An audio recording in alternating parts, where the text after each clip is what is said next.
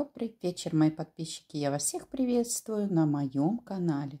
Сейчас я изготовила омлет на водяной бане.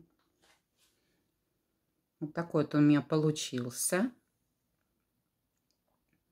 4 яйца и молоко 150 грамм. Все это взбить и поставить на водяную баню.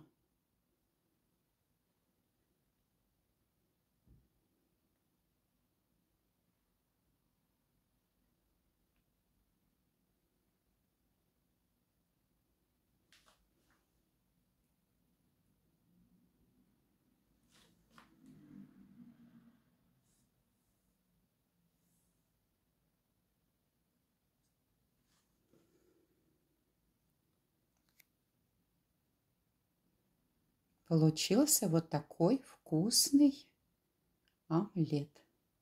Готовлю его первый раз сегодня.